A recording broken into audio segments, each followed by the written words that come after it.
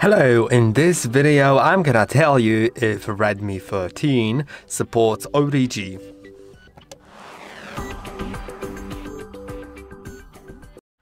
OTG stands for on the go and its full name is USB on the go because it works with USB and what it does is it lets you access uh, your USB flash drives, USB, USB external drives, um, as well as keyboards and mice on your phone directly by plugging it into the USB-C port mm, without uh, needing the computer.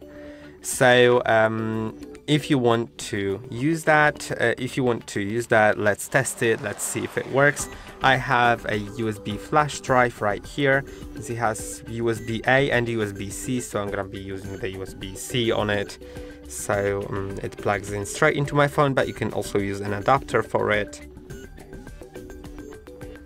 And now let's see if we get a notification about it we can see there's USB drive. So now we can go to, since it's a USB drive, we can go to the Files app on our phone. I have no idea where the Files app here is. Let's go to downloads maybe. From that we can go to, no, we can't. Okay. Uh, file manager, yeah, it's right here. Now I'm gonna agree to the file manager. Let's allow, allow all. Now, um, consent. There's really an odd in file manager. Okay, never mind.